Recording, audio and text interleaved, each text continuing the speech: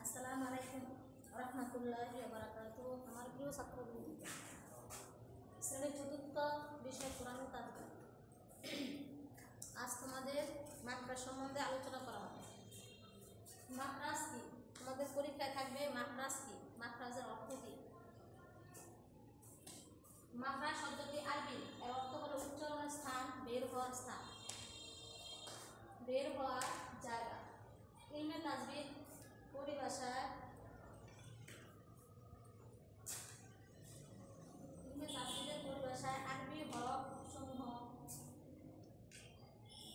স্থানকে বের করা হয় বা উচ্চারিত হয়, ওই সকল স্থানকে মাকরাস বলা হয়।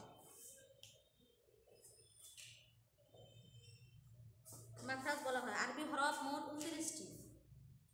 এই উনত্রিশটি হরফের জন্য সতেরোটি হরফ সতেরোটি হরফ মাকরাস রয়েছে। কোনো মাকরাজ হতে একটি স্থান, কোনো মাকরাজ হতে দুটি স্থান, কোনো মাকরাজ হতে তিনটি স্থান উচ্চারিত হয়। আর ওই উচ্চারিত স্থানকেই মাকরাজ বলা হয়। মাকরাজ জানার পদ্ধতি হলো যেই হরফের মাকরাজের জানা দরকার, সেই হরফের পূর্বে একটি হরফ বিশেষ, বিশিষ্ট হামজা ব্যবহার করতেই হয়। এবং উচ্চারণের হরফ যজম যজম দিয়ে উচ্চারিত করতে পারে, উচ্চারণ করতে পারে।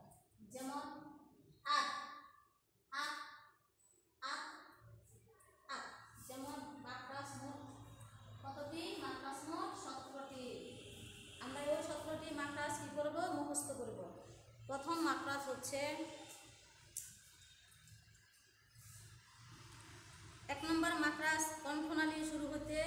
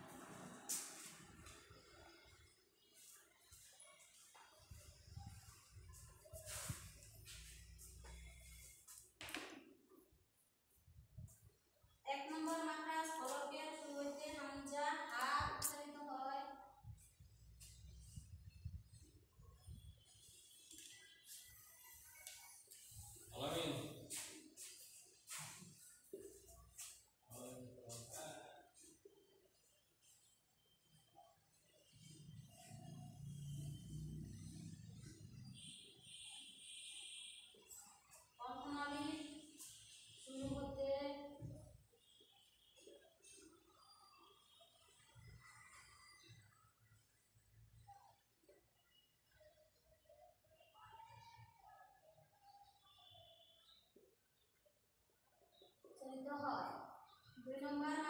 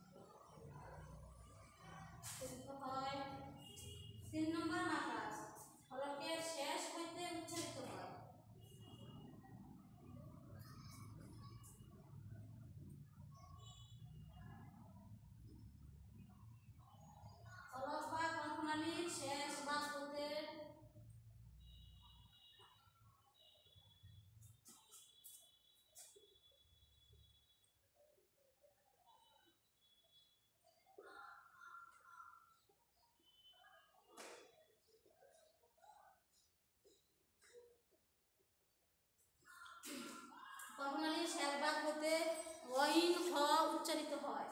চার নম্বর আকাশ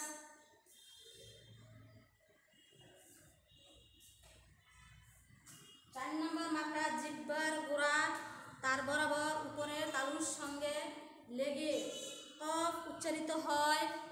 পাঁচ নম্বর মাকড়া জিহ্বার গোড়া হতে একটু আগে ভাড়াইয়া স্থান তার বরাবর উপরের তালুর সঙ্গে সঙ্গে লেগে কাফ উচ্চারিত হয়।